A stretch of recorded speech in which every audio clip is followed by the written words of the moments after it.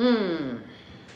This is something I I I ask myself and get quite nosy like, oh, I wish I knew where some of these people where they are emotionally. And when I talk about where you are emotionally, I'm talking about where do you live emotionally? Where are you living emotionally?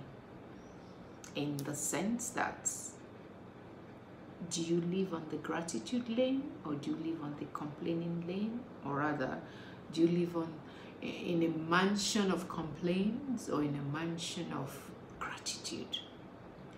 Where you live emotionally is powerful. I can't emphasize that enough. So very important that if you don't after watching this and share it by the way. I think for some time now i haven't talked about you know people sharing sharing my clips, you know, my post, because sometimes it's not for you who is watching.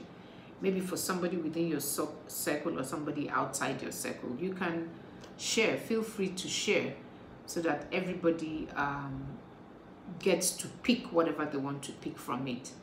You know, as I've said again, I've always said that most of these things I talk about are things that I have experienced, still working on, or have succeeded and won the battle or about to enter that that phase and want us to work together on it.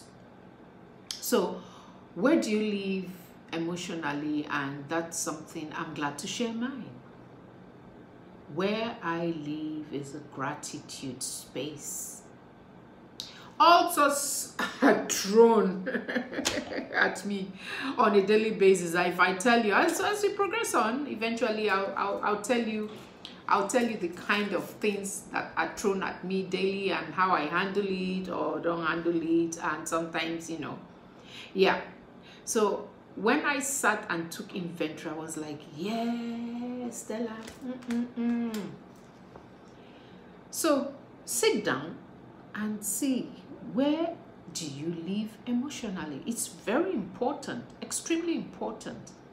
There was somebody I was listening to um, sometime last year, ending of last year, when everything was winding down and, you know, I had time to really watch and listen to people, you know, that I admire, that have done really very well in life, not just for themselves, but have impacted a lot of people.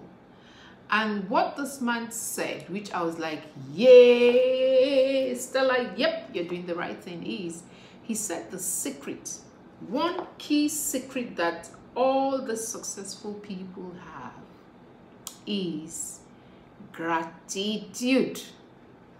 You need to be grateful in the morning when you open your eyes and you're conscious of the fact that you're up. Thank you, God, for the gift of life and at the end of the day after you've gone through all the challenges or not of the day and you're back about to lie on your bed you are you're lucky you are gifted.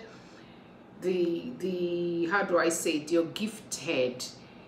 The peace you've been gifted the grace of the day to be able to go out and come back and you know take a shower eat and all that and want to lie on your bed.